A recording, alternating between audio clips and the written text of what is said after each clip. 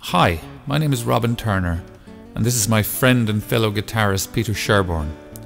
We've been asked to say a few words about the usefulness of a software program, which we've both been using for some time now called TablEdit. I'd like to point out that we are using the TablEdit program for learning guitar pieces as student and teacher, me being the student and Peter being the teacher. However, it does have capabilities far beyond that for composing and editing music in either notation or tablature form, but we won't be getting into that just yet. Once you download TablEdit, you'll also gain access to the many tab files that come with it, which range from popular to classical tunes to ragtime pieces and Irish traditional tunes. When you open up a tab, the program will play back the file for you. So if you've never heard the tune before, or if you don't have access to a recording of it, you'll be able to hear what it should sound like.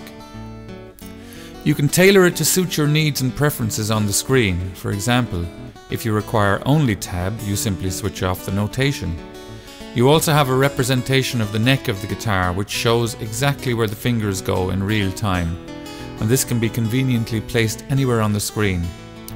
Or if you wish to make the tab smaller or fit it on one page, you can simply change its format using a drop-down menu. Please see the screenshots at the end of this clip for an idea of how these menus work. A feature which I find particularly useful when learning a piece is the speed of playback. If you find it difficult to figure out exactly what is being played, you simply slow it down to such a degree that it becomes clear. You can also change the sound of the software instrument which plays back the tab for you, as well as printing out the tab as many times as you like.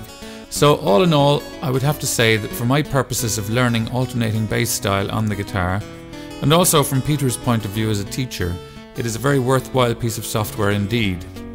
TablEdit can be downloaded from the TablEdit site www.tabledit.com spelled T-A-B-L-E-D-I-T. Thank you for watching.